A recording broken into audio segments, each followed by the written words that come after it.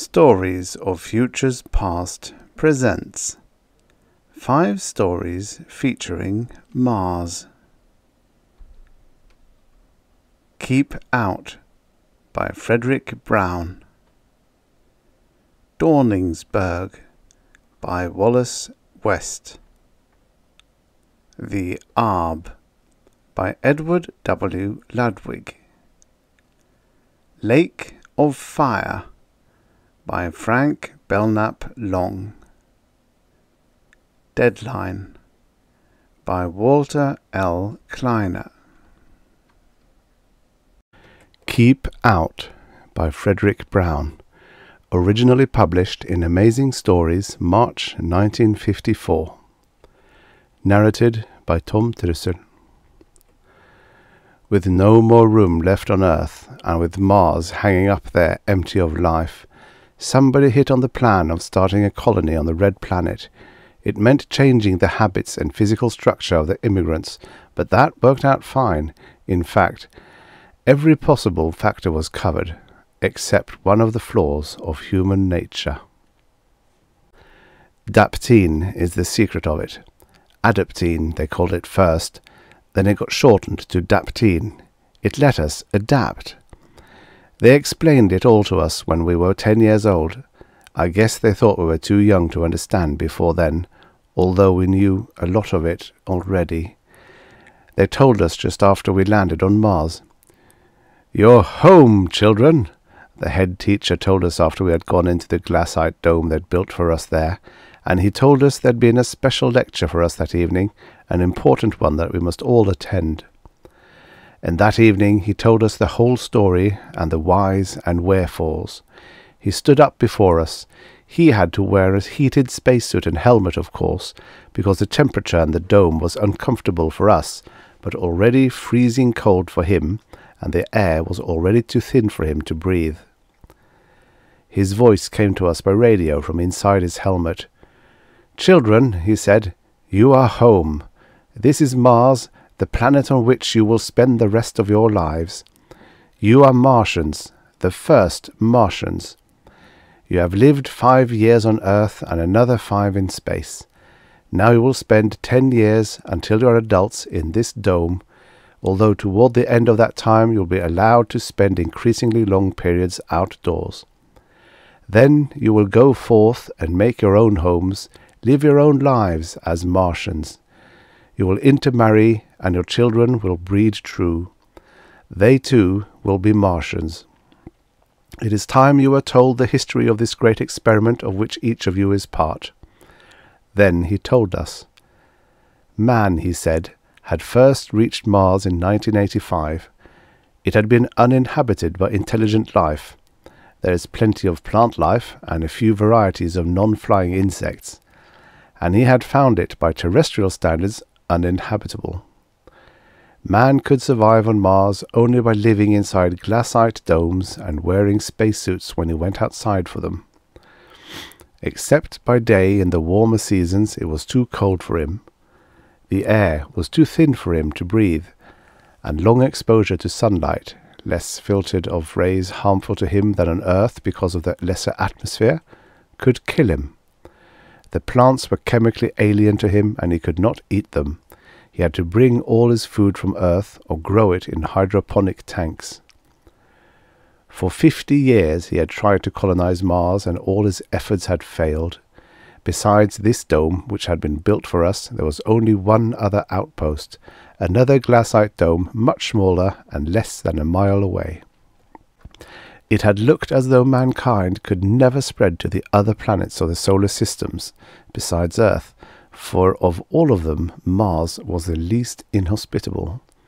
If he couldn't live here, then there was no use even trying to colonize the others. And then, in 2034, thirty years ago, a brilliant biochemist named Weymouth had discovered daptine, a miracle drug that worked not on the animal or person on whom it was given, but on the progeny he conceived during a limited period of time after inoculation. It gave his progeny almost limitless adaptability to changing conditions, provided the changes were made gradually. Dr. Weymouth had inoculated and then mated a pair of guinea pigs. They had borne a litter of five, and by placing each member of the litter under different and gradually changing conditions, he had obtained amazing results.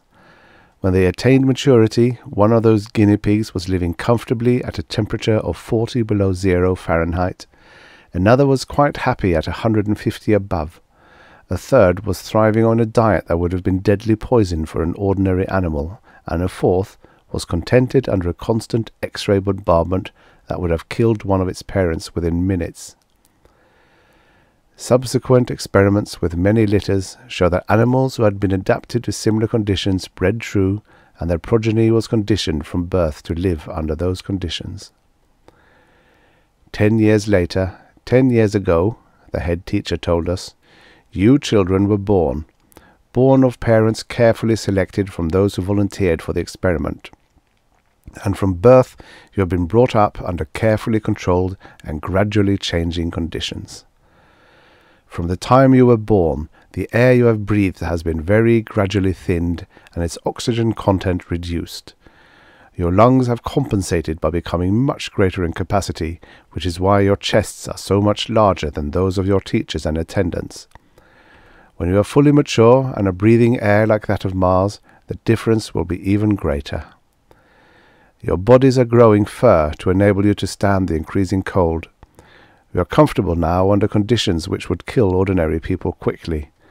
Since you were four years old, your nurses and teachers have had to wear special protection to survive conditions that seem normal to you.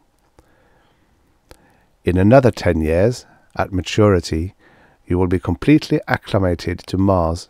Its air will be your air, its food plants your food. Its extremes of temperature will be easy for you to endure, and its median temperatures pleasant to you. Already, because of the five years we spent in space under gradually decreased gravitational pull, the gravity of Mars seems normal to you. It will be your planet, to live on and to populate. You are the children of Earth, but you are the first Martians. Of course, we had known a lot of those things already.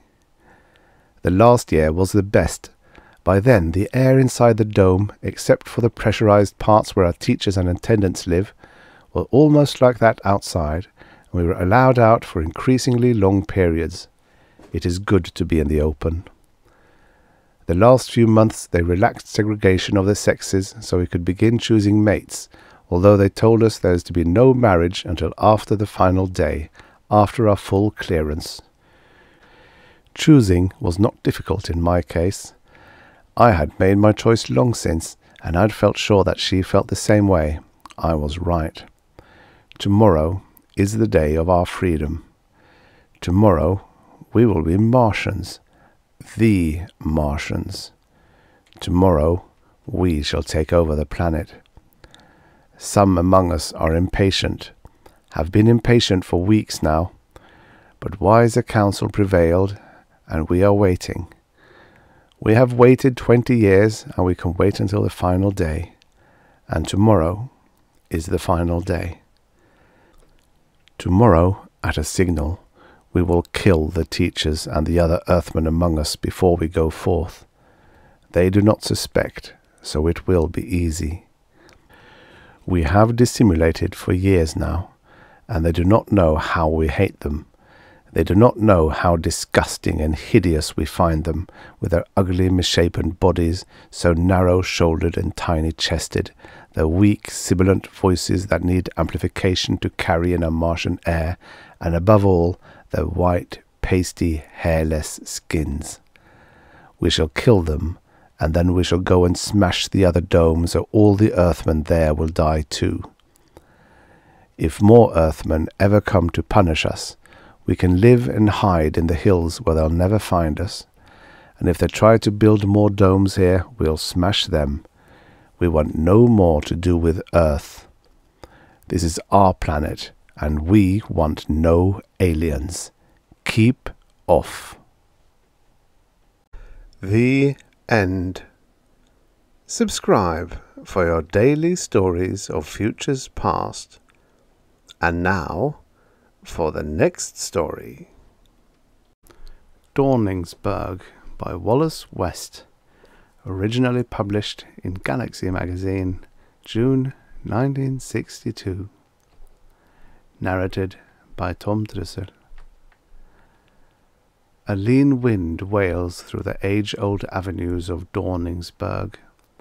Mornings it brings sand from surrounding hills and scrubs at fresh paint, neon signs endlessly proclaiming the city's synthetic name, and street markers in seven languages. At sunrise it prepares the dunes for footprints of scurrying guided tourists. When icy nights clamps down and the intruders scamper to their hotels, the wind howls as it flings after them a day's collection of paper cups, bottle caps, and other picnic offal. Liars!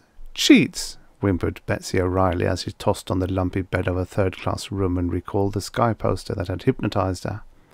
Now Betsy was disappointed and bored. Slim, pretty, freckled, and pert, but ten years older than she wished. She had mortgaged her secretarial salary to engage once more in the eternal quest. And as always, the quest was proving futile. Eligible bachelors shunned Dawningsburgh as they did other expensive tourist traps. The new friends she had made were either loud-mouthed, hairy miners en route to or from the orichalcum diggings, or middle-aged couples on tragic second honeymoons, or self-styled emigre artists and novelists intent on cadging free meals and any other favours that lonely females might grant. But maybe, Betsy tried to console herself, there was something real here, something glamorous that she could find and cling to during the long months back in New York, when she would have to subsist on soups and salads in order to pay her debt to Transplan. Mars had been great, the guides insisted. Once, they said, it had even colonized Atlantis. Perhaps under the sham and away from those awful conducted tours, Something was still left that could make her feel a trifle less forlorn. Betsy jumped out of bed and rummaged in a closet. There it was, a heated emergency garment equipped with plastic helmet, air pack, and a searchlight. Required by law, but seldom used, since tourists were told to stay off the 60 degree below zero streets at night. Wriggling into the clumsy thing, she tested valves and switches as it had been instructed. Then she tiptoed out of a cubbyhole, down a corridor, and into the hotel lobby.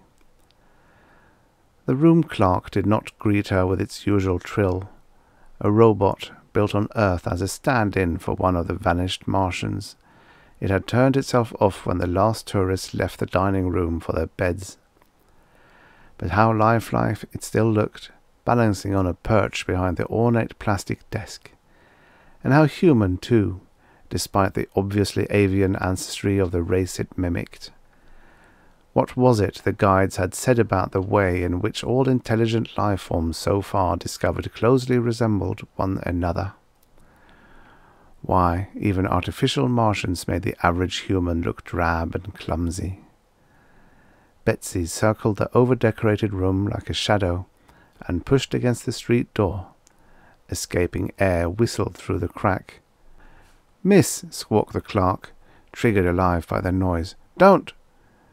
She was outside by then, and running through the crazy half-light thrown by Mars's nearer and farther moons. Wind howled and tugged at her. Cold turned the breath from her helmet vent into snow.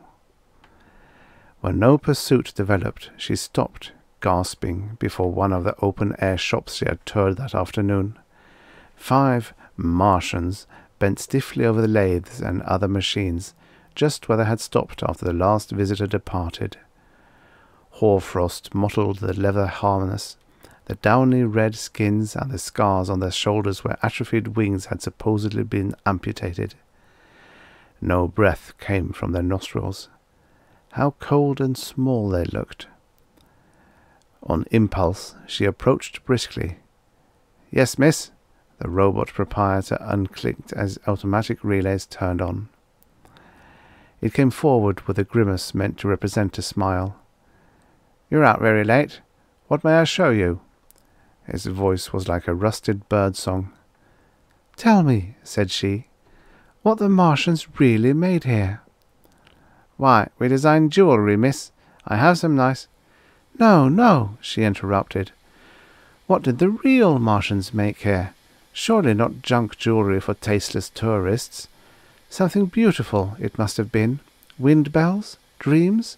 Snowflakes? Please tell me. The robot twittered and flinched like a badly made toy. I do not understand, it ventured at last. I am not programmed to answer such questions. Perhaps the guides can do so. Now may I show you? Thank you, no. She touched the thing's cold six-fingered hand with quick compassion. But I'll ask the guides. Good night. Back in the street, she began to retrace her tour of the afternoon. Here was what the guide had called a typical home. This time she did not disturb the mother, father, and one furry child with budding wings who clustered about what experts thought must have been a telepathic amplifier. It did not work any longer. None but the coarsest Martian machines did.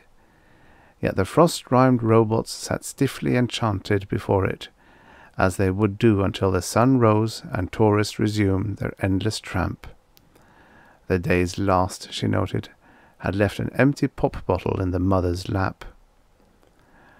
Farther on, she met a policeman, resplendent in metal harness, leaning forlornly against an anachronistic lamp post.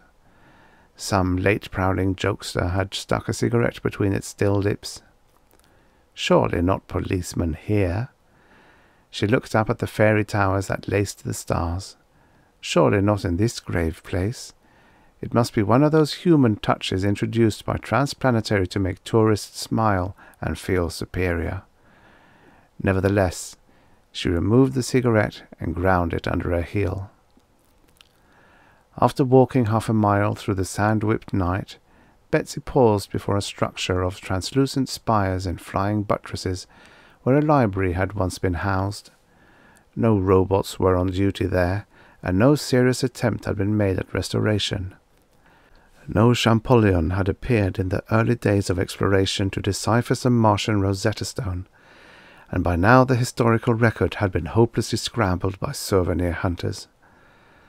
But that didn't matter really, they said.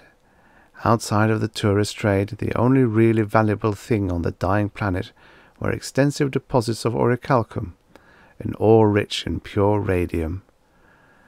Thanks to the impartial mining monopoly established by Transplanetary twenty years ago, orichalcum supplied the nations of Earth with sinews of war which they had not yet dared use, and fuel for ships that were questing greedily farther and farther out into the darkness of space. So metal-paged books had long vanished from the library's stacks, and its sand-strewn halls were littered with broken rolls of tape, how long would it be, she wondered as she passed on with a sigh, before the guides realized that even those mute tapes could be sold as souvenirs? Phobos had set by now. She turned on the searchlight, checked her air tank. The gauge showed enough reserve for another hour, and defiantly opened the faceplate of her helmet. The atmosphere was cold, cold as a naked blade. It had a heady tang, and she stood taking in great gulps of it until a warning dizziness forced her to close the plate. The guides were wrong again. A human could learn to breathe this air. Leaving the gutted library, Betsy breasted the wind as she ploughed through shifting dunes toward a structure shimmering on the other side of the plaza. This, the guides pattered, was a cathedral, when the place now called Dawningsburgh had been alive, they said, its inhabitants gathered at the shrine each evening to sip one ceremonial drink of precious water, shed two ceremonial tears for the days when a Mars had been young, and worship a flock of atavistic winged princesses who performed ceremonial flights under a pressurized, transparent dome in the rays of the setting sun. This showplace had, of course, been restored right down to its last perch, and had been equipped with a full complement of worshippers, At the climax of each day's final guided tour, visitors jammed themselves into the nave, sipped cocktails, oohed and ahed, and even shed tears along with the robots as they gawked at mannequins flying above them on invisible wires in the best Peter Pan tradition. Ducking under the electric eye that would have started a performance, Betsy tiptoed into the structure. It was quieter than any grave. Several hundred robots huddled there on their perches, drinks in hand, ready to go into their act. At the far end of the transept, a soaring mural, gleaming phosphorescently, hinted at the lakes, seas, and forests of Mars's prehistory. Under the dome, a single flyer dangled, its plumes trailing. For long minutes, Betsy stood in the dimness, seeking to capture the mystery and wonder of this place. In ruins, it would have swept her with ecstasy, as had her moonlit view of the Parthenon. Restored and repopulated, it made her sick and ashamed of her race. No, not of her race exactly, but of the few hucksters who debased its thirst for knowledge and beauty. Then a bird started to sing. A bird? On Mars? This must be a tape, triggered on somehow, despite her care in avoiding the electric eye. Any moment now, the robots would begin their mindless worship. She shuddered and turned to escape, but something held her. She crept instead, step by soundless step, toward the source of that exquisite music. An almost naked male robot had materialized before the mural. It was singing, far better than any nightingale, its strange hands outstretched through the radiance. Such notes could not, should not, spring from the throat of a machine. Heart in mouth, Betsy advanced with infinite care. By the mural's light, she saw that the newcomer had no hoarfrost coating, and the moisture of its breath condensed and fell to the floor like a blessing. She reached out a small hand to touch its scarred shoulder, then jerked back. The shoulder was warm. Greetings, girl, Betsy's brain whispered to her. You're out late. Just let me finish this thing and we'll have a chat. The music soared, uninterrupted, to a climax sparkling with grace notes and glittering with chromatic trills. Now, fluted the creature, turning and fixing her with golden freewheeling eyes. What brings a tourist? The word was a curse. Here at this hour. L love, she gulped, hardly knowing what she said. I, I mean, I wanted to find out if anything real was left. And, well, I ran away from the hotel. They'll be coming after me, I suppose. Don't fret. Martians can play tricks with time. I'll return you to your room well before they get here. You're, you're not just another fancier robot? I'm alive enough. He bowed with a sweep that seemed to invest him with wings. Pitteret Mura, at your service, a princeling of sorts, an iconoclast, and an atavist like you. There are others here? Her eyes grew round. Most of the others had finished with this outgrown eyrie and are away on larger affairs. Only I return with a few friends once each year to sing of past glories and weep over present desecrations. Two ceremonial tears? she asked with a return of bitterness. There was something in his attitude that she found disquieting. Many more than two, but, he shrugged angrily, I grow tired of weeping. On this visit, I plan to wipe out your little humans who fouled the nest of my ancestors. How? She gripped his arm, fear racing through her. Tomorrow, all this junk. He nodded his handsome head at the robots. will have been replaced by real Martians. Youngsters out for a lark with me. We'll tend shop, make jewellery and all that until I give a signal. Perhaps this shrine will be the best place when it's crowded, just at sunset. Then we pounce. Mura ruffled himself up and sprang at her so convincingly that she shrieked. How juvenile! She managed to laugh shakily. What did you say, human? The Pitterette was taken aback by this unexpected thrust. I said your plan is childish. She stamped her foot. So you cut the throats of a few stupid people. Then Earth sends up cobalt bombs and blows this cradle of Martian civilization to smithereens. The others won't like that, even if they're, they're occupied with larger affairs. You would be in real trouble. Hmm. He looked at her with new respect and a faint tinge of uncertainty.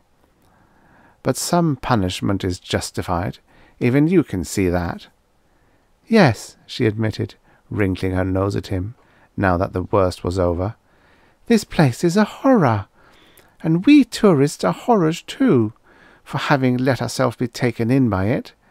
But death isn't punishment, just an ending. I hadn't thought of it that way.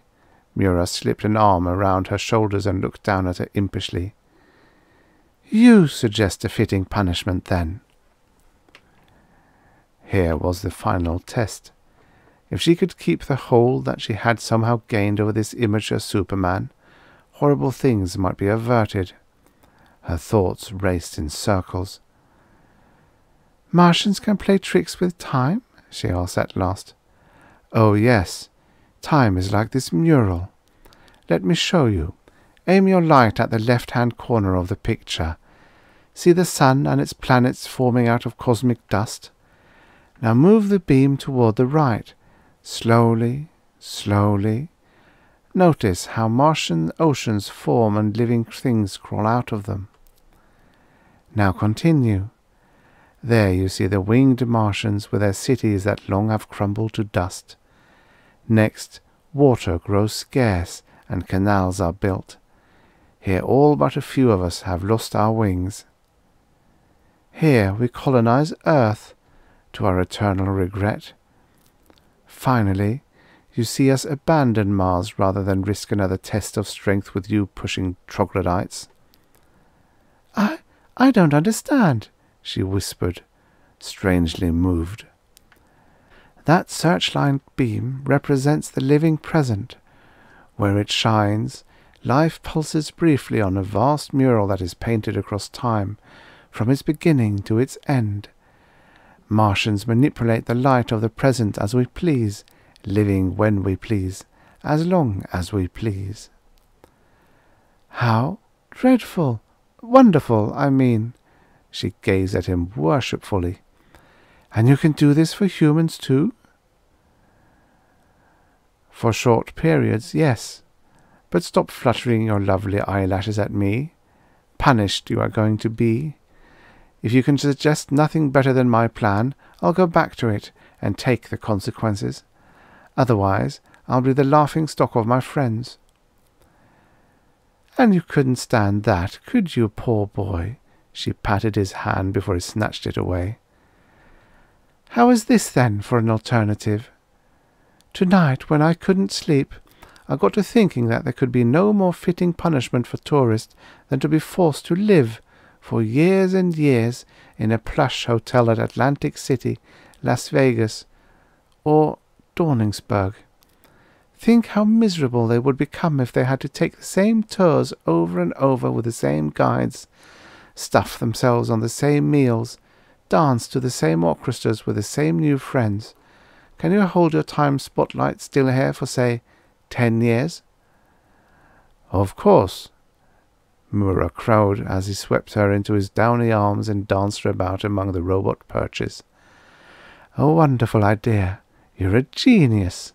Even the others may come back now to watch humans squirm, yawn, and perhaps learn to respect their elders.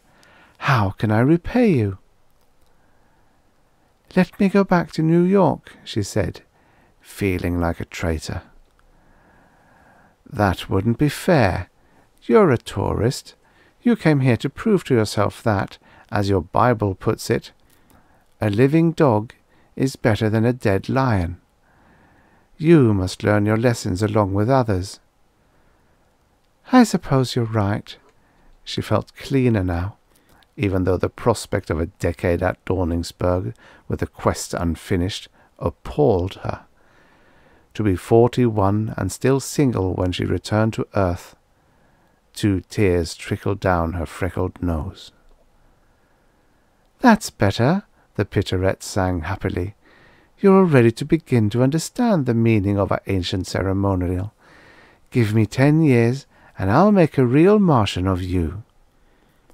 Outside, the lean wind echoed his glee as it tossed a hatful of good humour sticks and sand-coated lollipops against the cathedral wall. The End. Subscribe for your daily stories of futures past. And now for the next story. The Aab by Edward W. Ludwig. Originally published in Imagination Stories of Science and Fantasy, February 1955. Narrated by Tom Trussel. The cool Martian wind crept across the rust-red expanse of desert. Occasionally its soft touch stirred the thorny leaves of devil's eggs, the squat black plants which peppered the silent monotony. Here and there a wisp of sand spiraled upward into the bright thin morning. The wind felt clean and new on Monk O'Hara's coarse, blond-stubbled face. He chuckled as noisily as a man buried neck-deep in sand can chuckle. Nothing to worry about, he muttered, not a goddamn thing. It was uncomfortable, of course. No man would relish being beaten by hysterical Martian tribesmen, spat on, and buried to roast in the hundred-degree Martian noon or freeze in the fifty-below zero night. Yet the summer wind from the melting polar ice cap will ensure an endurable temperature through the day. Monk's lungs, enlarged and sensitized after two years of prospecting for devil's egg seed, were accustomed to the planet's scant atmosphere. Destruction of his oxygen mask presented no menace. Idiots, he mumbled. The fool Martians made off with a sand car like kids with ice cream, and left enough egg seeds to buy a thousand cars. He was able to turn his head just enough to glimpse the heavy, fat sacks that the tribesmen had dumped out of the sand car. The sacks bulged with a fine black seed that, properly processed, made the deadliest, costliest, and most habit-forming narcotic in the system. The sacks were symbols of a shining future for Monk O'Hara, symbols of fine clothes, beauteous women, choice whiskey, and most important of all, a return to Earth. Of course, it was too bad about the old man. The white-bearded, toothpick slim Martian trader and his black-haired daughter had pitched their tent next to his camp last night. The girl had been amazingly full-bodied for a Martian. Her round, firm body and sensual lips made him suspect that she was a half-breed, a delightful combination of Martian grace and earthly sultriness. Monk smiled as he saw her again in his mind's vision. She slid off her antelope-like lozelle, came to him slowly with her small naked feet swishing through the sand. It is all right for us to camp by you? she asked, her eyes wide. We will not bother you? Not at all, Monk answered, his heart pounding. After all, it had been six months since he had even seen a woman, any kind of woman. What is your name? the girl asked. Monk, they call me. Monk O'Hara. He could feel the blood pulsing through his temples. I am Thule, she curtsied. You like me? Yeah, Monk breathed. I like you a lot. Later, through the ports of his sand car, he watched her lithe movements as she and her father set up their tent. Throughout the night, his sleep was thin and restless, his mind on fire with a vision of the dark, lovely face. So early this morning he'd gone to her again. How about some coffee, kid? Got plenty in the sand car. She crinkled her nose teasingly. Yes, I like Earth coffee. My book'll come too? No, just you, kid. Your old man's busy taking down the tent. She nodded eagerly, smiling. Yes, I come. I like you. What greater invitation did a man need? But in the sand car the little fool screamed. The old Martian darted into the car, yanked Monk away from Thule, and descended on him like an enraged beast. Monk hadn't meant to kill the old Martian. He meant only to silence his shrill screams and stop the frenzied flailings of his fists. How could he have known that a thin neck would snap like a rotten stick under his first blow? Monk's smile faded. No, he thought, he hadn't acted too wisely. He'd expected the frightened girl to leap out of the sandcar and race away on under Zell. And she had, but he hadn't expected her to return an hour later with a dozen revenge-hungry tribesmen. His mistake had been in letting her escape. He cursed silently. Then he spat. After all, it was over and done. The Martians had trusted him, buried him, and left him to die. But he'd at least been wise enough not to reveal his ace in the hole. His partner, old Stardust Luke, had left yesterday in the auxiliary sandcar to get fresh supplies from Chandler Field. Old Stardust was as honest as a baby and methodical as a clock. He'd returned today, late in the afternoon, just as he'd done a dozen times. There was no doubt about the punctual arrival of Stardust, and Stardust would save him before the freezing descent of the Martian night. Monk thought for a moment, then chuckled again his glee more than overshadowed the inconvenience of his neck-deep burial. For the rescue would be the last good deed of Stardust Luke's life. In fact, it would be his last deed, period. The old space rat had outlived his usefulness. If he persisted in wandering over unexplored Martian terrain, he'd probably end up in a freezing or sweltering grave anyway. So it wouldn't be murder. Not exactly. It would only be giving a bit of impetus to what already seemed inevitable. Monk strained his neck muscles to gaze at the sacks of seed. They would all be his soon. Not half, as now, but all. He sucked the cool air deep into his lungs. Everything's to be okay, he murmured. No, not okay, but perfect. He closed his eyes, at peace with the universe. He could forget the pressure of sand on his chest, forget the heat that was beginning to shower down on his thick, sweat-matted mop of hair. He could imagine himself in a cool, dark barn earth, surrounded by smiling women, sipping iced drinks. Ah, he breathed, opening his eyes. Then he saw the Aab. It squatted on a small, irregular-shaped dune some three feet from him in the jagged, sharp-edged shadow of a devil's egg. Its eyes, like shiny pinheads of obsidian, were on a level with his. It was a red-scaled creature, about three inches long, combining the most significant characteristics of an earth crab and an earth ant. Its claws were tiny razor-edged traps on the ends of wire-thin appendages. Even at this distance, Monk saw that his mouth was open. Whether in awe or in anticipation of a meal, he did not know. The aab rose on its six rear legs as if trying to stretch its dark red body into a position of better vision. It rubbed its foreclaws together, sharpening them perhaps. Monk shivered. For the first time since his arrival on Mars twelve years ago, Monk felt fear. Till now, he'd met no adversary that his strong, bull-necked body could not subdue. Ordinarily, he'd dispose of an aab by squishing stump of his boot, and he'd flour the naked grave with a squirt of tobacco juice. But now it was as if he were bodiless. His broad shoulders, sinewy arms, and barrel chest seemed buried a thousand miles deep in the very bowels of the planet. He was a helpless freak, a living sliced off head on an endless platter of red sand. Fear was an icy bauble in his mind, rising, swelling, forcing out all other thought. Go away, he yelled.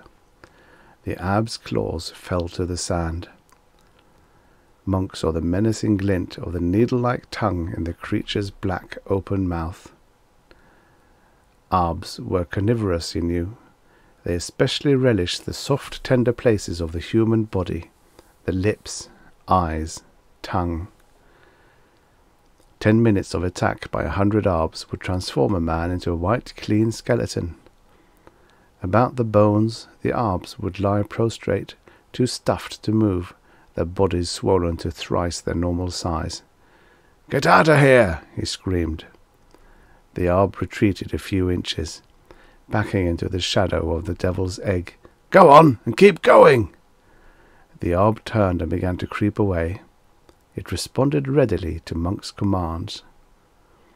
For Aabs were gifted with a rudimentary, if unpredictable, type of telepathy.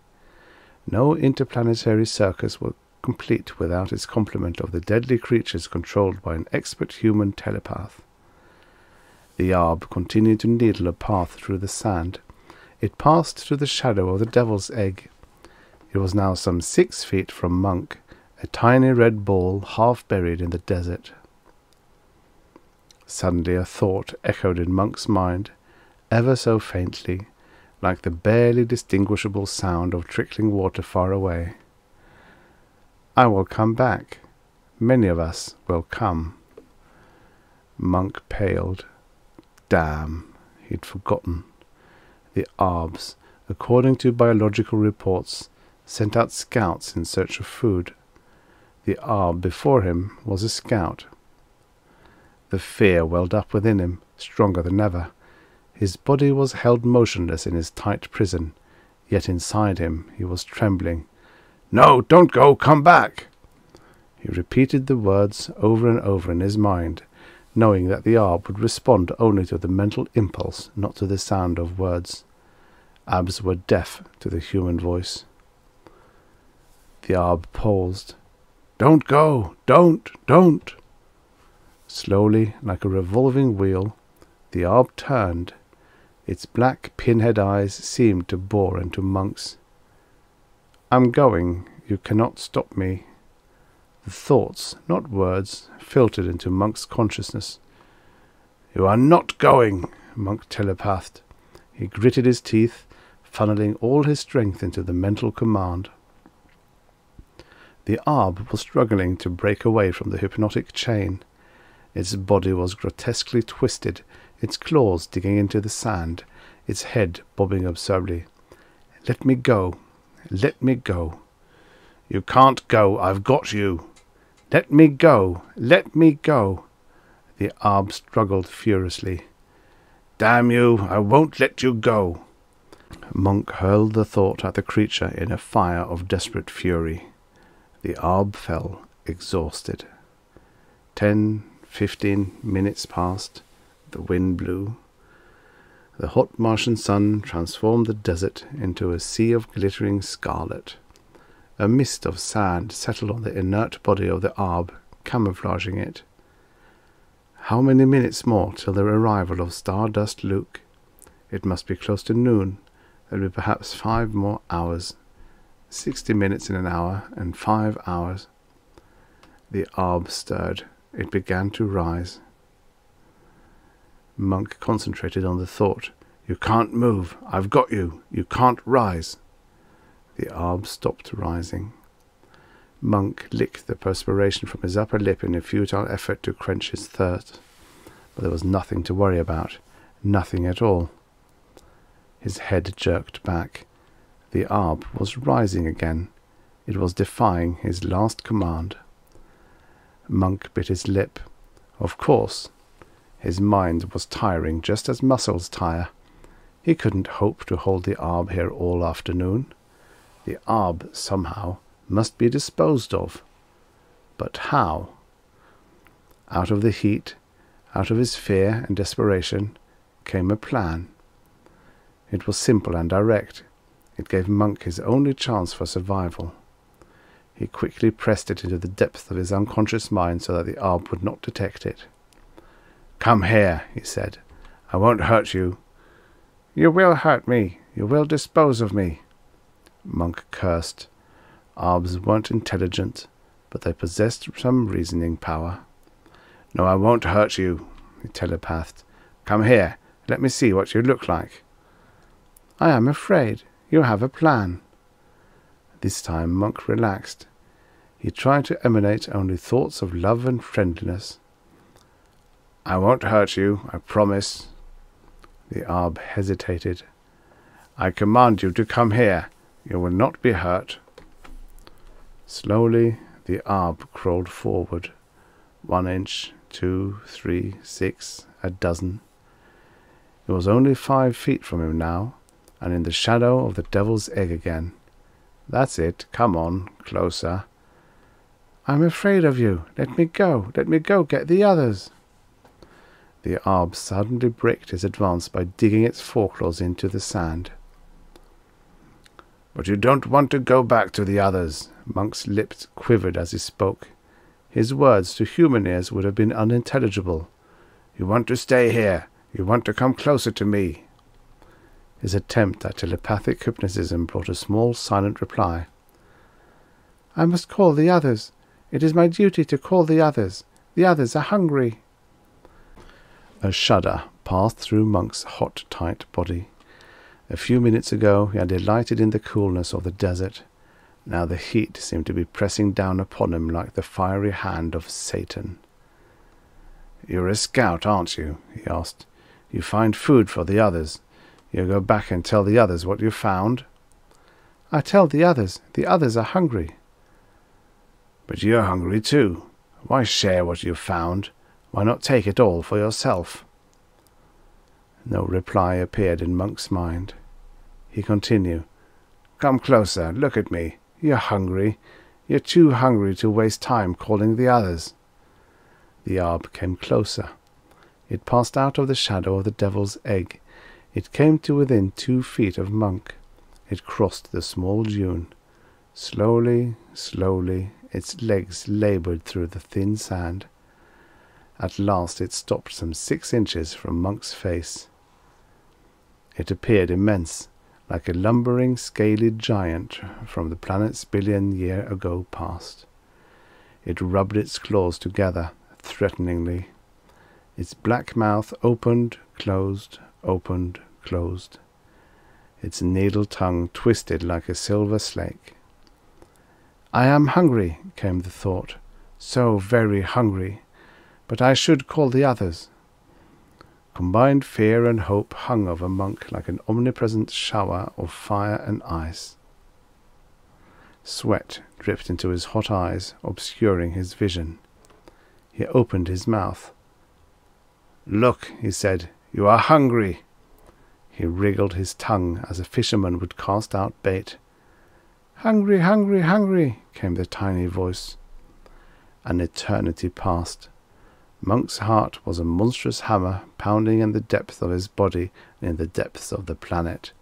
The aab was motionless, save for the restless, uncertain moving and blinking of its eyes. Then its forelegs lifted.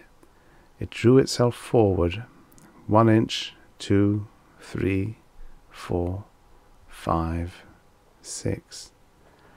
Monk beckoned the creature on with his wriggling, twisting tongue. That's it, he telepathed. Closer, closer. The aab entered Monk's open mouth. Crunch! Monk chewed and spat and chewed and spat. He grimaced hideously. He coughed and choked. The aab tasted like a combination of paprika and oil. He thought he was going to retch, but did not. And it was over. Monk breathed the cool air. His weary mind thought of the stupid white-bearded Martian and of his lovely daughter. He thought of what he was going to do to that idiot space rack, Stardust Luke. His gaze travelled to the empty red desert where in about four hours Stardust Sandcar would appear. It shifted to the sacks of priceless devil's egg seed, and began to chuckle. And last, his gaze turned to the black pinpoint eyes and the moving foreclaws of the two aabs which squatted some three feet away from him in the jagged, sharp-edged shadow of a devil's egg. The End. Subscribe for your daily stories of futures past. And now for the next story Lake of Fire by Frank Belknap Long. Originally published in Planet Stories, May 1951. Narrated by Tom Trussel. Steve found the mirror in the great northwestern desert. It was lying half buried in the sand, and the wind howled in fury over it, and when he bent to pick it up, the sun smote him like a shining blade, dividing his tall body into blinding light and wavering shadow. I knew it was a Martian mirror before he straightened. The craftsmanship was breathtaking, and could not have been duplicated on Earth. It was shaped like an ordinary hand mirror, but its glass surface was like a lake of fire with depth beyond depth to it, and the jewels sparkling at its rim were a deep aquamarine, which seemed to transmute the sun-glow into shimmering bands of starlight. I could have told Steve that such mirrors, by their very nature, were destructive. When a man carries a hopeless vision of loveliness about with him, when he lives with that vision night and day, he ceases to be the undisputed master of his own destiny. She's alive, Jim, Steve said. A woman dead fifty thousand years. A woman from a civilization that flourished before the dawn of human history. Take it easy, Steve, I warned. The Martians simply knew how to preserve every aspect of a mirrored image. Say how do you do to her, if you like. Press your lips to the glass and see what happens. But don't mistake an imitation of life for the real thing. And an imitation of life? Steve flared. Man, she just smiled at me. She is aware of us, I tell you. Sure she is. Her brain was mirrored too. Every aspect of its electrodynamic structure preserved forever by a science that's lost forever. Get a grip on yourself, Steve. I was hot and tired and dusty. My throat was parched, and I didn't feel much like arguing with him. But I had my reasons for being stubborn. Men have found Martian mirrors, and got mad, I said. Don't take any chances, Steve. We don't know yet what it's rigged with. Why not play it safe? A thousand cycles of direct current should melt it down. Melt her down? Steve's eyes narrowed in sudden fury. Why, it would be murder! Steve got up and brushed sand from his knees. He held the mirror up so that the red Martian sunlight caught and aureoled the splendor of a face that offered a man no chance of help if he ever let go. A pale, beautiful face, the eyes fringed with long dark lashes, the lips parted in a mocking smile. A living image capable of mercurial changes of mood unnaturally still one moment, smiling and animated the next. One thing at a time, I thought. Don't drive him too hard. Some men have carried them about for years, I said. But just remember what falling in love with an image can mean. You'll never hold her in your arms, Steve, and compulsions can kill. She is alive as flesh and blood is alive, he said, glaring at me. Easy, Steve. I could see that I was going to have trouble with my stout-hearted buddy, Captain Stephen Claymore. He could have stared at a mountain of gold unmoved. He could have knelt with a wry chuckle and let a handful of diamonds trickle through his wiry bronzed-knuckled hands, in utter contempt for what diamonds could buy on earth. He could have thrown back his head and laughed at wealth, at glory, at anything you want to name that men prize highly on earth. But a beautiful woman was a temptation apart. A beautiful woman. Steve grabbed my arm. Look out, Tom, he cried. Watch it. The bullet whizzed past like a heat-maddened insect. Steve leapt back, and I flattened myself. The attack was no great surprise.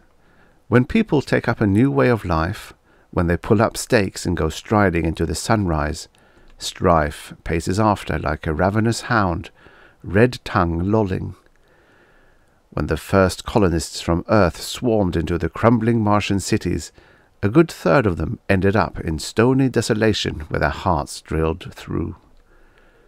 They danced to riotous tunes, calling for louder music and stronger wine, and they fought savagely to set up little kingdoms of tyranny eighty feet square. Everywhere anarchy reigned, and haggard-eyed desperate men crouched behind smoke-blackened ruins and held off other men as greedy as themselves.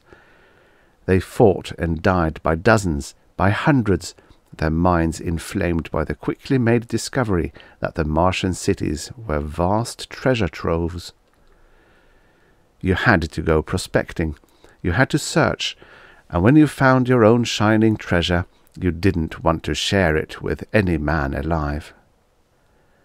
Steve had his gun trained on the wall ahead when he ducked down at my side. Yes, sir, I whispered, half to myself. This is going to be rough. They asked for it, Steve said. His gun roared twice. From the wall ahead came a burst of gunfire in reply. If they think they're going to get this mirror away from me, I looked at his grim, sweat-beaded face. I'll help you fight for it, I said. So nice of you, he grunted. Then maybe you'll have sense enough to bury it face down in the sand. Guns went off thirty feet directly in front of us. Red sand gazed up, granite cracked and splintered. You could feel the awful heat of the blazing exchange of bullets. I could see faces between the chinks, malignant faces moving from peephole to peephole like scavenger birds hopping about in the desert. I was aiming at one of the peepholes when Steve groaned and sagged against me. His gun arm sagged, and I could see that a bullet had pierced his shoulder high up. I'm sorry, Tom, he whispered hoarsely. I was careless, damn it. Never mind, Steve, I said. Now they'll close in and get you. Better take my gun. You can use two guns. I won't need two guns, Steve, I said. I'm walking into the open with my hands raised. You're crazy, he breathed, his eyes on my face. We're outnumbered five to one. They'll drop you the instant you step out from behind this wall. My gun was hot and smoking. I smiled and tossed it to the sand. I'll be back in a minute and fix up that shoulder, I said. You'll be walking to your death, he said. They've been trailing us for days, hoping we'd stumble on something. They must have seen me pick up that mirror. They trailed us because they thought we looked experienced, rugged, I said. They thought we were following a map. They just haven't got what it takes to go prospecting for themselves. They're hyenas of the desert, Steve. All right, hyenas. That means they won't respect a white flag. If you walk out with your hands raised, they'll burn you down before you've taken five steps. I steadied my helmet and unloosed my collar so that I wouldn't feel cramped. Don't worry, Steve, I said. I knew they saw me the instant I stepped out from behind the wall. The silence was ominous, and I could feel their eyes upon me, hot and deadly. I didn't raise my hands. It didn't seem quite right to let them think I was seeking a truce. A man may be a fool to play fair with killers, but something made me change my mind about raising my hands. I'd give them their chance. Ten seconds. I wouldn't try to bargain for those ten seconds by walking toward them under false colours. I'd just trust to luck and... Steve had never seen the weapon I held in my palm. It was a tiny electrostatic accelerator tube capable of flexible, high-precision control of ions with energies up to 12 million electron volts. It was a simple thing, and unbelievably destructive. It made no sound at all. But ten seconds after I clicked it on, the desert directly in my path was glowing white hot. Just a glow, white, dazzling for an instant. Then a dull rumbling shook the ground, and the wall opposite blackened and crumbled. The heat was like a blast of incandescent helium gas from a man-made sun. I turned and walked back to where Steve was lying. I didn't want to do it that way, I said, but I had no choice. It was them or us. Steve seemed not to realize we were no longer in danger. There was fear in his eyes, and he was staring at me as if I'd just returned from the dead. In a way I had. A man may die fifty deaths while counting off ten seconds in his mind. I'll give you something to help you sleep, Steve, I said. It didn't take me long to dress and bind up his wound. He winced once or twice, but he never took his eyes from the mirror. You promised to bury it face down in the sand, I said. He looked at me. You know better than that, he said. I promised nothing of the sort. It's like falling in love with a ghost, only worse, I said. That's where you're wrong. There's nothing ghostly about her. I mixed him a sleeping draught, using the little water we had left. In five minutes he was snoring. I pried the mirror from his fingers and propped it up against a rock so that he could see her face when he woke up. Then I stretched myself out in the sand, kicked off my shoes, and stared up at the sky. The sun was just sinking to rest, and there was a thin sprinkling of stars in the middle of the sky. The stars seemed cold and immeasurably remote. Would it work out? Could it possibly work out? Was I sticking out my neck in a gamble so big it was like attempting to pierce the sun and hammer out a new humanity on a great blazing anvil heated to millions of degrees centigrade? I laughed, alone with my thoughts. Nothing dared, nothing gained. What does a man gain by striking bargains with a mouse in himself? I awoke in the cool dawn. The morning mists had rolled back, and the red desert looked almost beautiful in the sun glow. Steve was sitting up, staring at the mirror. The light shifted suddenly, and I could see the radiance which smouldered in the depth of the glass. I got up, walked to the wall, and peered over Steve's shoulder. The girl was looking at him, her face so beautiful it fairly took my breath away. It was as though, after a lifetime of wandering, she'd found the only man in the world for her. Her face was bright with sympathy, with compassion for Steve. But Steve sat slumped in utter dejection, his eyes burning holes in his face. He didn't even look up when I spoke to him. She knows, Tom, he whispered hoarsely. She turned pale when that bullet hit me. She was relieved when you dressed the wound. She's been watching over me all night, like an angel of mercy. You'll need her more and more, I said. You know what the end will be, Steve. Complete hopelessness in an empty room. He stood up, his face savage. I never asked your advice, he ground out. I'm not asking it now. I've got to save you, Steve, I said. I love her, do you hear? I don't care what happens to me. I picked up the mirror before he could guess my purpose. I swung about, and I brought that rare and beautiful object down on the rock Steve had been sitting on. There was a splintering crash, a crackling burst of white flame. Steve gave a great despairing cry. He stood for an instant staring down at the shattered fragments of the mirror. Then he came at me like a charging bull, his eyes bloodshot. I clipped him lightly on the jaw. That's all I wanted to know, Steve, I said. Thanks, pal. I looked down at him, lying in a crumpled heap at my feet. I was glad he hadn't fallen on his wounded side. He was plenty sturdy, and he came from a long-lived family, and I didn't think a little clip on the jaw could hurt him. I hoped he'd forgive me when he woke up. That was important, because I thought a lot of Steve. When you've been to Mars, when you've fought your way through the red and raging dust storms, and laboured beneath the naked glare of the sun, and juggled with men and ships and supplies like some tremendous Herculean figure in the morning of the world, you'll never really feel at home on earth.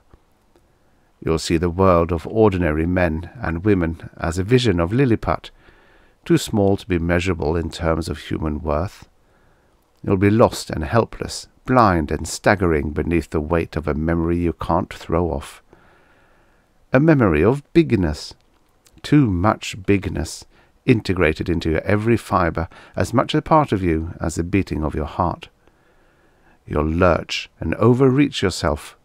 You'll never feel at home on earth, never really at home. You'll find a way to come back to Mars. I smiled down at Steve. So Steve had come back to go prospecting, like an ordinary greed-driven man. And only I knew he was one of the scant dozen great constructive geniuses who had made possible man's conquest of space. He was an engineer, a physicist, and a man in need of a partner. So I just stepped up and introduced myself. Tom Gearson, who knew every square foot of Mars. For my purpose, one Earth name was as good as another, and Tom Gearson had a sturdy ring. Hard-bitten Tom Gearson, bronzed by the harsh Martian sunlight, as much as home in the desert as the sturdy little spiked plants that thrust their way up through the parched soil when the springs begins to break. Steve's finest achievement was years in the past, but he was a young man still, with a young man's need of a woman as great as himself to share every moment of his waking life. That woman was waiting for him, but I had to be sure that he'd really go berserk if I smashed the glass. I was sure now. I raised my arm, and out of the ruins the Martians came. Steady hands lifted Steve up, and a hushed silence ringed Steve round. Azala, I said, where is she? Then I saw her. She was advancing straight toward me through the glare of sunset on desert sand, a shining eagerness in her eyes. The girl of the mirror, young and straight and alive, her hair the colour of red sand in sunset glow, her eyes twin dark stars. She paused before me and raised her eyes in questioning wonder. Go to him, I said. He will never love another woman, I can promise you that. She ran to Steve with a little glad cry and fell to her knees beside him. I wanted to break through the circle and slap Steve on the back and wish him all the happiness on Mars. The first Earthian to wed a Martian. And it was tremendous, and I wanted to tell Steve. But how could I tell him that Martians had numerous ways of watching Earthians, the very best being mirrors, which were really two-way televisual instruments? How could I tell him that the alert Martian women all had been trained to watch and observe Earthians day and night, and all the while the Earthians thought they were carrying about with them, in beautiful jewelled artifacts of a dead culture, the living images of their heart's desire. Steve was awake now, and sitting up straight, and the image was warm and alive in his arms. But how could I make Steve understand? I had a wild impulse to say, I'd change places with you if I could, Steve. She's just about the cutest kid I know. You get to thinking that way when you've mingled with Earthians around desert campfires, studying them as you'd study a new neighbour who comes knocking at your door. The neighbour you fear at first, and are never quite sure of until you really get to know and like him. You see, we had so much to offer one another, a young race, constructive, brawling, shouting its defiance to the stars, and an old race, imaginative, sensitive, heirs to a civilization on the wane, but needing just a few Steves to make it young and great again. I'd picked Steve because he was one of the shining ones of Earth. I'd known from the start that persuading him to wed a Martian woman would take plenty of doing. Earthians are funny that way. Love to them is a complex thing, a web that has to be skilfully woven right from the start. Beauty alone isn't enough. You have to say to them, You'll never hold that woman in your arms. Can't you see how hopeless it is? Then the iron goes deep. If a love flies straight in the teeth of despair and comes out all right in the end, it will be as strong as death. So I'd arranged for Steve to stumble on the mirror, to pick up that two-way televisual circuit into a very special paradise for two. And I'd opposed and warned him just to make sure he'd think of himself as a man facing hopeless odds to win through to an undying love. On the other side it was easier. Azala had fallen in love with Steve before we put her on the other end of that televisual circuit. But seeing him wounded and in need of her had turned it into what Earthians called a great love. Perhaps Earthians would some day smash the aura that had flamed about the heads of the Martian rulers for fifty thousand years. I'd done my best to smash it. I'd gone simply and humbly among Earthians, seeking a fresh wind to trundle the cinders of a dying culture. I dreamed of Martians and Earthians standing equal and strong and proud, hands linked in friendship, cemented by bonds of kinship, separated by no gulfs such as now yawned before me, separating me from Steve. I wanted to shout, Good luck, Steve, Azala. You're good kids, and you deserve the best. Then I remembered that Steve was nearly forty, not quite a kid by Earthian standards. But looking at Azala, I was pretty sure that Steve still had his best years ahead of him. I wanted to go up to him and shake his hands for the last time. But now the hands of my people were tugging at my shoulders, stripping off the Earthian garments I'd worn so long with scant respect for my desire to be as human and regular as the next guy. They got the suit off, and then I saw the old familiar cloak, purple and billowing out with shimmering star images, and I shuddered a little, because I knew I'd never really feel at ease wearing it from that moment on. They got me into the cloak, and they bent down and straightened the stiff imperial folds, and I was suddenly bored and deathly weary. A chill wind from the stars seemed to blow over me, but I stood straight and still, and allowed them to fasten on the cloak, the great glowing jewel I'd worn from childhood. Steve saw me then. He was sitting up very straight, his hand on Azala's tumbled red gold hair, and I heard him say, Holy smoke! I stared down at the jewel, blazing and shuddering and shivering in the desert air. And I shut my eyes tight, wishing for the first time in my life that it did not proclaim me, Tulan Sham, the glorious one, temporal ruler of the seven cities before whom the stars bowed. The End. Subscribe for your daily stories of futures past. And now for the next story. Deadline by Walter L. Kleine. Originally published in Infinity, September 1957. Narrated by Tom Trussel. Helena Donnelly handed me a cup of coffee, but didn't pour one for herself. I could feel her eyes on me as I drank. Finally she said, For God's sake, Marsh, you could say something. I could, yeah. As the implications penetrated, the coffee slopped over the rim of the cup. I emptied it quickly and gave it back to her. How about a refill? She refilled it and gave it back to me. If we haven't got a chance, she said slowly, I've got as much right to know as you do, Marsh. Have we got any chance? I set the coffee down and stood up. I shrugged and spread my hands. Ask me that seventy days from now, if you're still around to ask, and I'm still around to answer.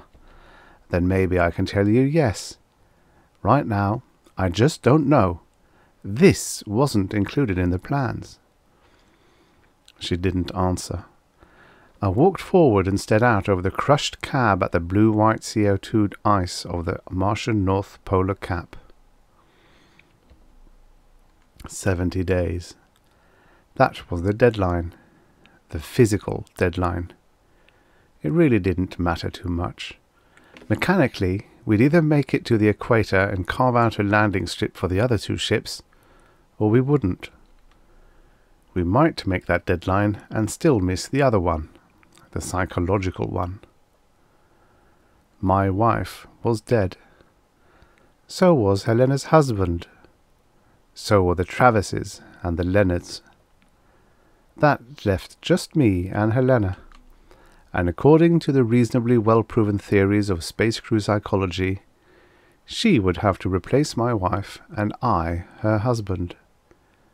It was supposed to be easy, since we wouldn't have been in the same crew if we weren't known to be more compatible than 99 and 9 tenths percent of the world's married couples.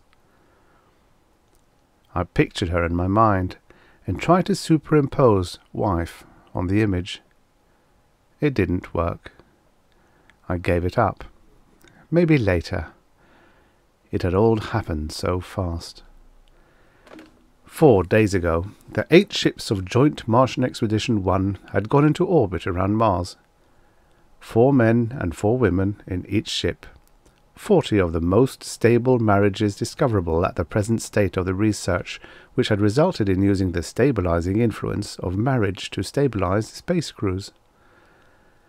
Three of those ships were equipped with the streamlined nose shells and wings necessary to make actual landings on Mars. Number one my ship, was supposed to make the first landing on skis near the edge of the North Polar Cap. We carried a pair of double unit sand tractors, each of which had quarters for four in the front section and carried a featherweight bulldozer on the trailer.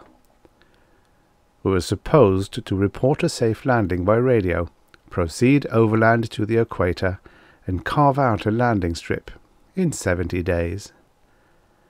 If the radio didn't work, we were to touch off the remaining fuel in our tanks after we had everything clear of the blast area. Right now, a mile or so behind us, the drives and fuel tanks of number one were sending merging columns of smoke high into the thin Martian air. A magnificent signal. Only we hadn't touched them off. And they couldn't have ignited on contact and still be going like that. They couldn't have gone much before Helen and I came to, about seven hours after we hit. About half a mile in front of us, one of the bulldozers lay on its side, a short distance from the wreck of the nose section, slashed open where the tractor had come through it diagonally, missing Helena and myself by inches.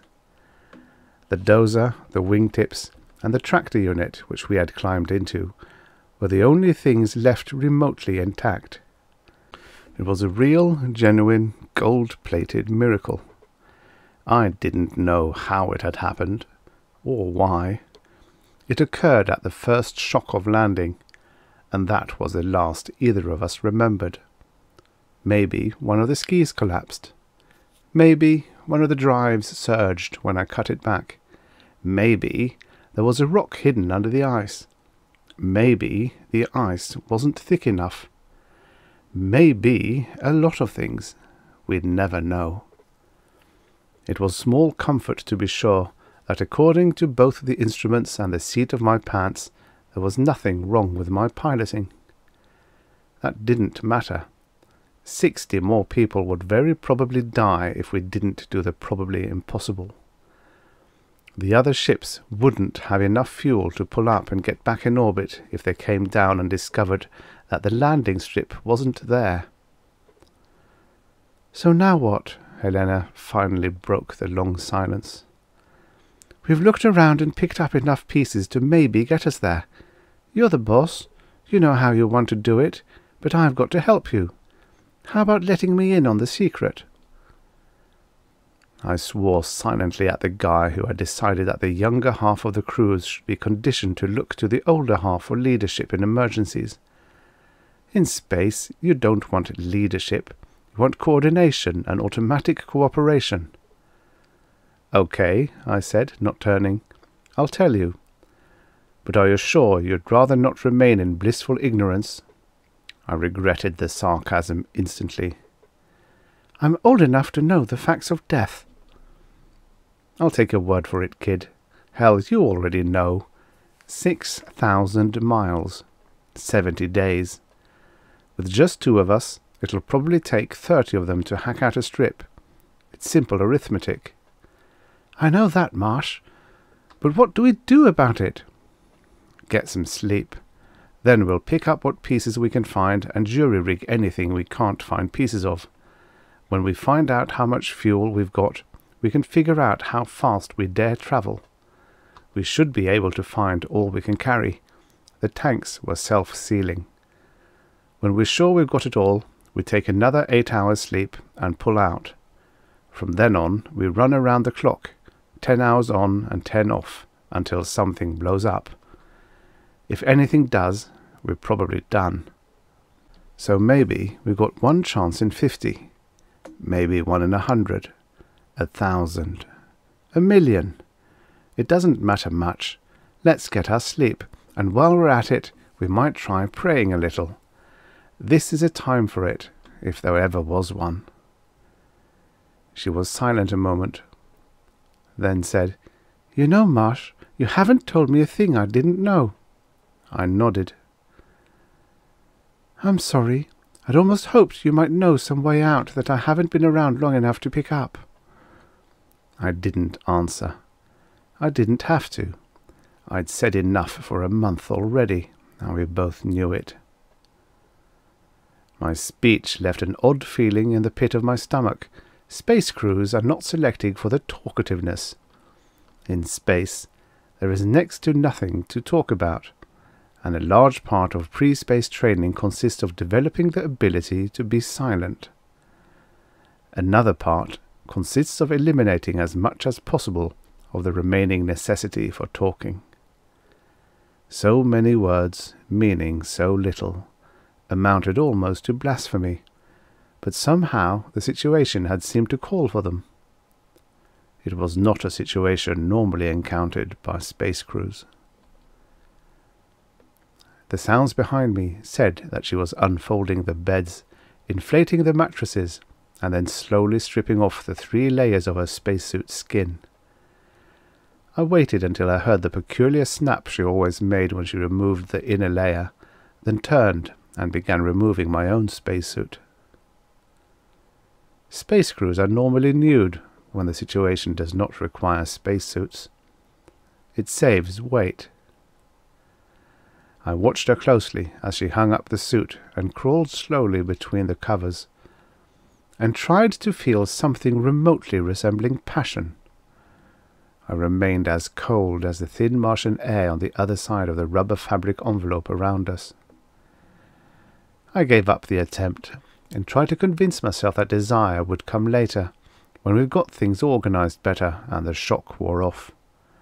After all, that had also been included in our training. I shrugged off the rest of my suit and hung it up carefully strictly from force of habit, and slid into the bunk below hers.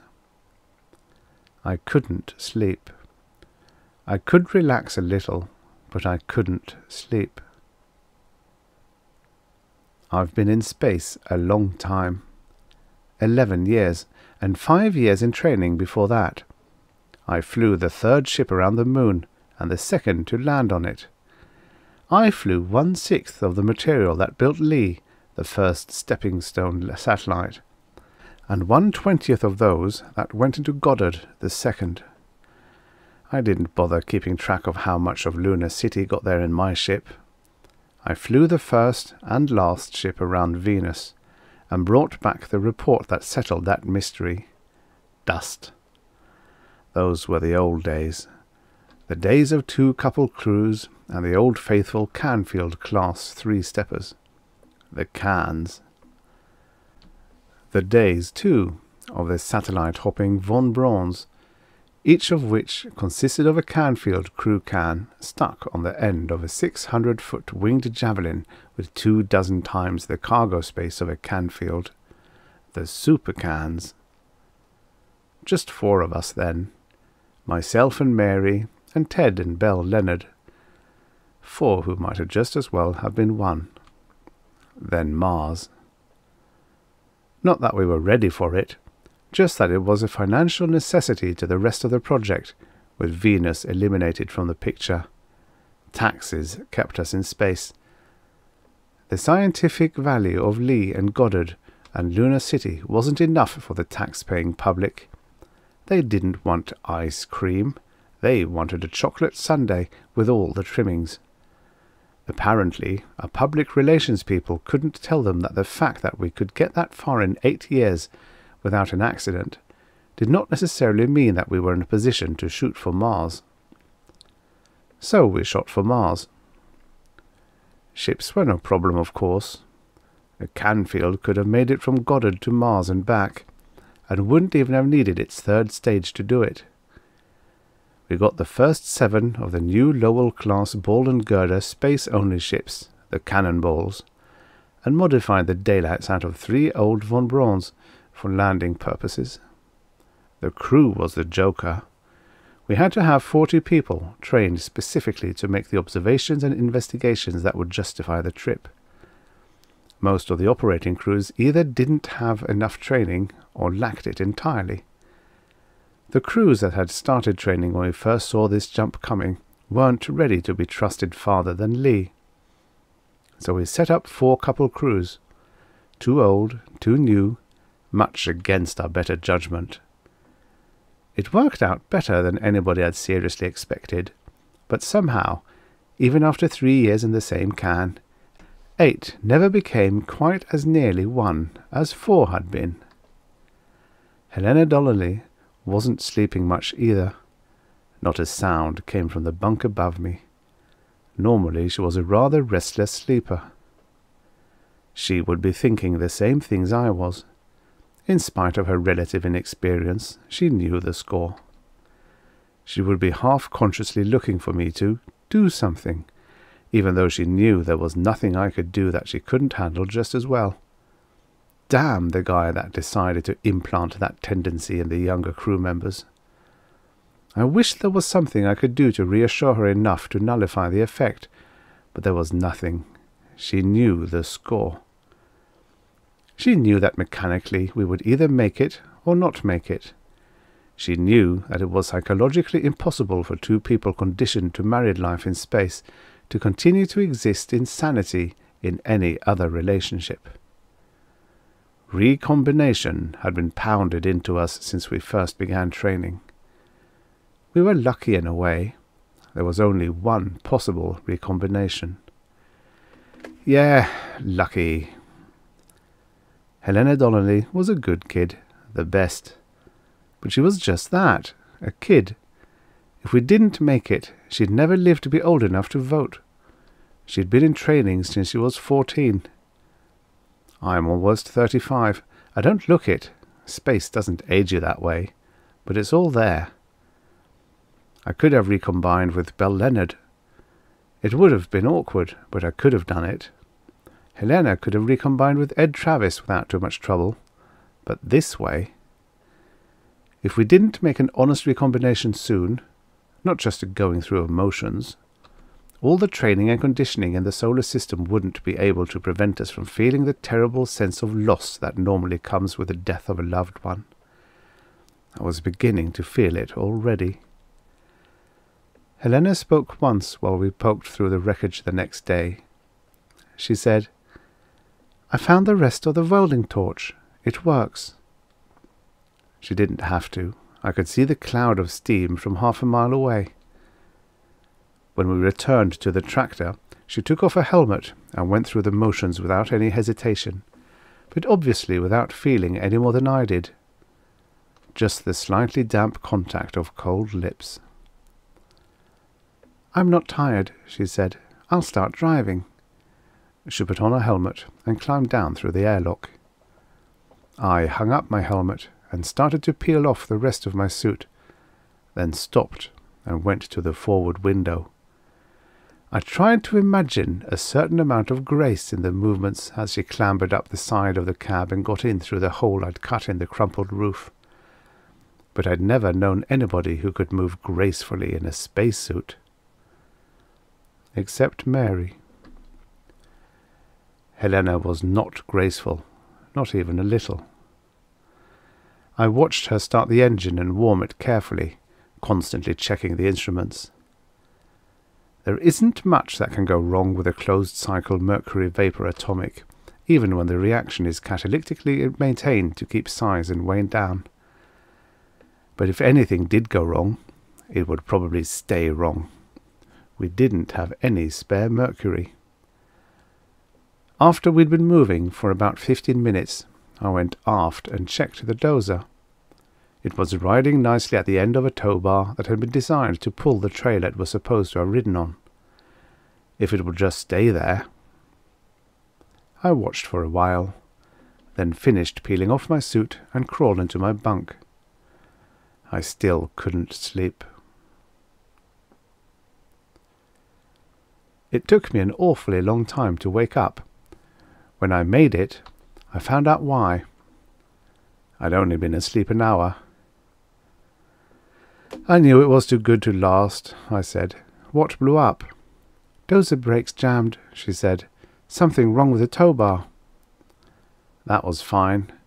Perfect operation for twelve days. Twenty-six hundred miles covered. Then it had to give trouble. I rolled out of the bunk. Well, I didn't think we'd even get this far. Any leaks? She shook her head. Fine. That bar was a nightmare of pressure-actuated hydraulics. Very small, very light, and very precision. I wouldn't dare to go into it very deeply. Helena moved quietly to the other end of the compartment while I struggled into my suit. It had been that way ever since we started. We'd never tried to go through the motions after that one ineffectual attempt. So far, it hadn't mattered.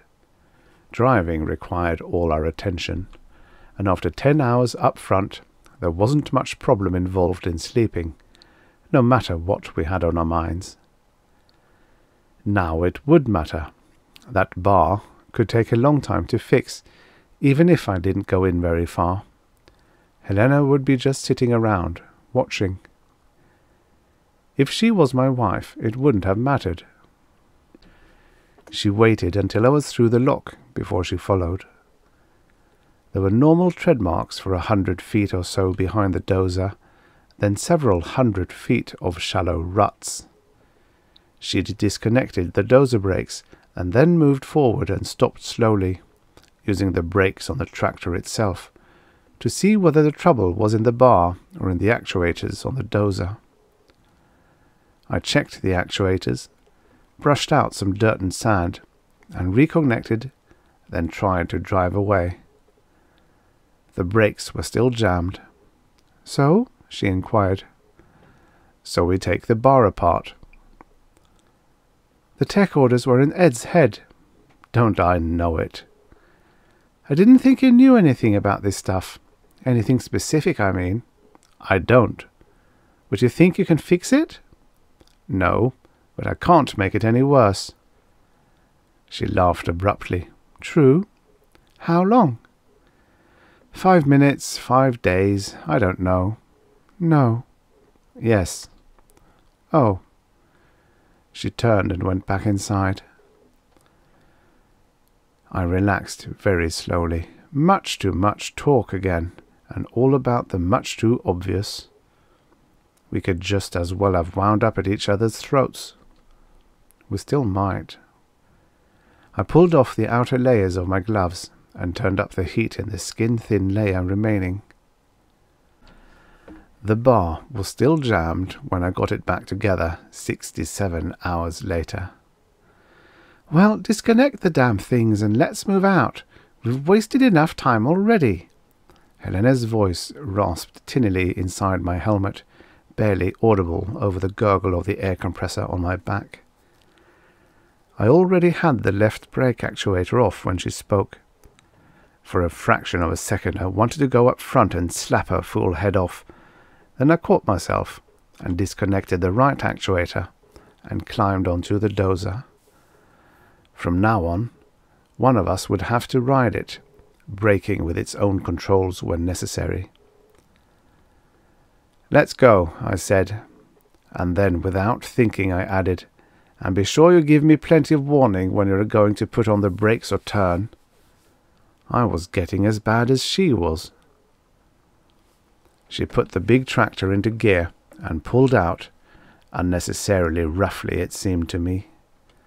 Of course, it could have been the bar. The next day, we hit the rough country. Rough for Mars, that is. Just a lot of low, rolling hills running at odd angles to each other, with an occasional small outcropping of rust-red, eroded rock to make things interesting. We'd known it was there. It was clearly visible through the thousand-incher on Goddard. An X mountain range, they told us. Not enough of it left to give us any trouble. They couldn't see the rocks, and they didn't know we wouldn't be travelling according to the book. It was obvious to both of us that riding the brakes on the dozer was a rougher job, and called for the quickest reflexes, which I had. Also, Helena had a hair-fine control over her voice, which I didn't have. Long before we hit the hills, I knew exactly how much braking she wanted from the way she asked for it. We couldn't have coordinated better if we'd been married for years. In spite of that, it was amazing how little ground we could manage to cover in fifteen hours, and how little sleep we could get in the other nine and a half. Helena stuck to the valleys as much as she could, which saved the equipment, but not the time. She couldn't avoid all the hills, Every so often we'd run into a long gradual rise which terminated in a sharp drop-off.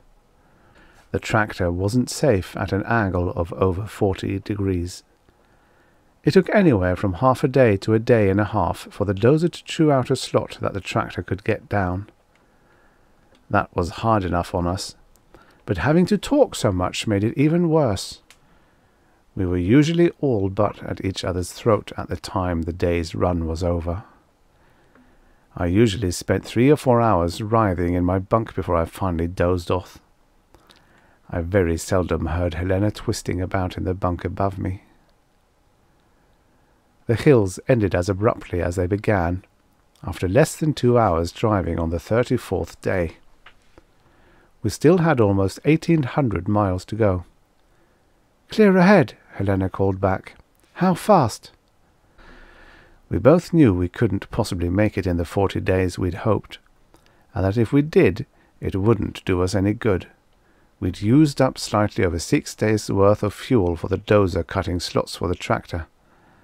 There would be a balance between time and fuel that would give us the most possible days to use the dozer when and if we got there.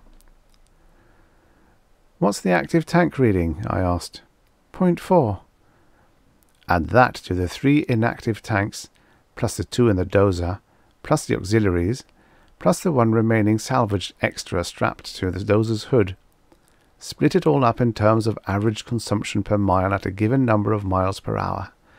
Balance it against miles to the landing site, days left to L day, and dozer average consumption per day. Ten minutes later I called her and asked, Can you take an extra hour of driving a day? If you can, so can I. You've got the rough seat. I knew it was bravado. I did have the rougher ride, but she was a woman, and not a very big one at that. On the other hand, I didn't there assume anything but that she meant it. She was just itching for a chance to blow up in my face. Okay, I said, sixteen hours a day, an average fourteen miles an hour, if your fuel consumption indicates more than 0.2 over cruising, let me know. We covered another 201 miles that day. On the 35th day, we covered 231 miles. On the 36th day, we covered 224 miles. On the 37th day, we had covered 207 miles in the first 14 and one half hours. There wasn't any warning, either in external physics signs or on the tractor's instruments. One minute we were rolling along like a test run at the proving grounds, and the next a 400 foot stream of mercury vapour under pressure was coming out the left side of the tractor. It lasted only a few seconds. That was all it had to. I sat and stared for several long minutes, blinking my eyes and trying to see something besides a pure white line. I heard Helena climb slowly down from the cab and go up through the airlock, yet I really didn't hear anything at all. Finally, I got down and turned on my suit light and took a look at the hole. There wasn't much to see. The hole was no bigger than a small lead pencil, and I probably wouldn't have been able to find it in the dark if it hadn't been surrounded by a slowly contracting area of white hot metal. We were lucky. We were incredibly lucky. If that mercury had come out at an angle either one degree higher or lower than it had, we'd have been minus a tread or a chunk of the tractor's body. I didn't let myself think of how much good that was going to do us without an engine or what could keep us from each other's throats now. I snapped off my light and went inside. There was certainly nothing we could do tonight. Helena hadn't even taken off her helmet. She was sitting cross-legged in the middle of the floor, hunched over, with her helmet buried in her hands as she might have buried her face in them if her helmet hadn't been in the way. When I got my own helmet off, I could hear her muffled sobbing. I didn't think, I just reacted. I reached her in one short stride and hauled her to her feet by her helmet. I twisted it a quarter turn to the right and jerked it off. I caught her by the collar as she staggered backwards and slapped her hard across each cheek, with my open palm on the left, backhanded on the right. I let go of her and she slumped back to the floor. Snap out of it, kid, I said harshly. It isn't that bad. I turned away from her and began to pull off the rest of my suit, starting with a heavy, armoured outer layer of my gauntlets. I had the inner layer half off before she finally spoke. Marsh? Yes? I'll kill you for that. You frighten me. I'm not kidding. I know you're not kid. You're just not thinking straight at the moment. You wouldn't be here if you were the type that could actually commit suicide when it came right down to the fact. We're dead already. Then how do you expect to kill me? It'll be fun trying, Marsh. It finally hit me, and it was asinine, childish, and getting nowhere in a hurry. Hell, kid, I said. We've still got an engine in the dozer. It can be done. Maybe not neatly, but it can be done. Sure, she sneered. Sure it can be done. The dozer must have almost half the power of this hulk. We'll get there all right. We'll get there about the time the people upstairs pile up on the landing strip that isn't there. Then we can use the dozer to give them a good Christian burial. Hell, Marsh, there's no sense trying to do it that way. That hole can't be very big. If we take the mercury out of the dozer and add what we can find lying about on the sand, then pour it back in and weld the hole shut, we'll be all right. We'll get there a day or two later, that won't be nearly as bad as if we try to tow with a dozer. Then we can swap mercury again and use the dozer. Couldn't be any simpler than that. Like a fool, I tried to be logical. How long do you think that weld would hold, kid? And then where would we be? Right where we are now, only maybe a few miles closer. We haven't got anything to lose, and we've got everything to gain. That was the start. In the course of an hour and a half, we covered every possibility and impossibility of the situation. Whatever one of us brought up, the other argued against. We talked like crazy. We were. When it finally penetrated that we'd both known everything we'd covered before we started, I said bluntly. Shut up. Go to hell. I suppose I will eventually. Should I expect to see you there? No. I'm sure it can be arranged, I said as I got up. You're not going to? she asked, suddenly really alarmed. No. By that time she was on her feet too. I spun her around and forced her to the floor. Then I tied her hands behind her back with some wire that had been lying on the floor behind me. I didn't try to tie her too tightly, just tight enough to be sure she couldn't get at the knots. She didn't resist nearly as much as I had expected. I repeated the process on her ankles, then gagged her to stop the insane conversation, and put her in her bunk. Then I turned out the lights and crawled into my own. It never occurred to me that there were dozens of things she should cut herself loose with, just lying around the compartment. I awoke and threw my arm up from sheer instinct. I grabbed something soft and half heard a metallic clatter behind my head. There was a weight on top of me, and then the weight and I were on the floor, locked together with a blanket between us. Full consciousness was slow in coming, in spite of the shock of the activity. It seemed better somehow to just stay in that halfway state and enjoy it without knowing why. Finally, gradually, it penetrated that these were the motions that we were going through, but that we were not just going through the motions. This was for real. A nasty question followed the thought. If this was for real, why did she keep wriggling and twisting all the time? The answer was close behind. She never had been able to hold still when her husband held her. It seemed ages before we both realized how unsatisfactory it was to be separated by that blanket, and released each other and lay apart, with the blanket half on me and half on her. After more ages, I got up and turned on the lights. There were certain formalities that really should be observed. While I pulled on the outer skin of my spacesuit, I wouldn't be outside long enough to need any more. Helena quietly picked out the large wrench she dropped at the head of my bunk and put it back in the case it had come from. Love and hate are separated only by the thin edge of a coin. Flip it, and it can come up either way. I picked up a sterile specimen tube and a thin small sheet of metal, locked my helmet in place, and went out. It took me a little longer than I'd expected to find a reasonably large blob of mercury, but I made up for it by getting it into the tube on the second attempt. I was just beginning to feel the cold when I got back to the tractor. Helena had the specimen preservation kit out and open. I sealed the mercury in transparent plastic, made a ring from a piece of wire, bonded the mercury to it, and coated the whole works with more of the transparent plastic. It wasn't much, but then we got out the Bible.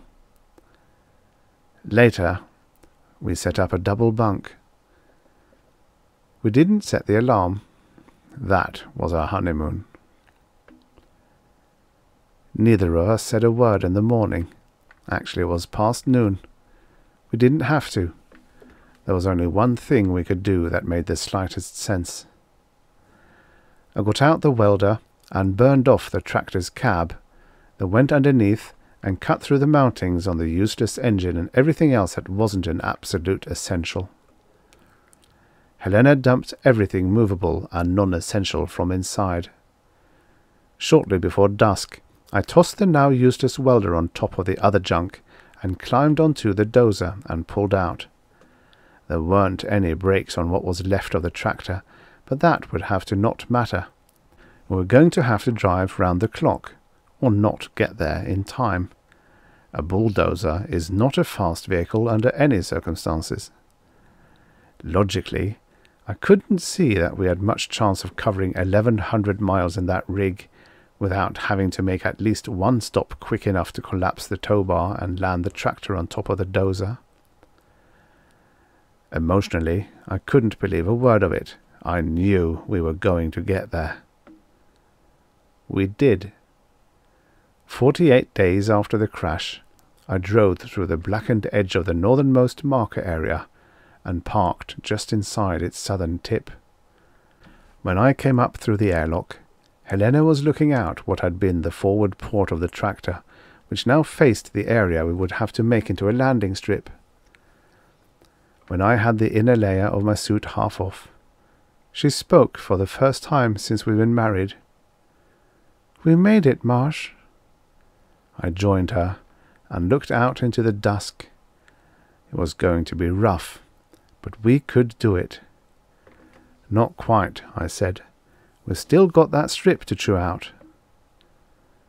She was silent a moment, then said, tightening her arm around me, I know. I said we made it, Marsh. The end. Subscribe for your daily stories of futures past science fiction and fantasy and horror. Oh my!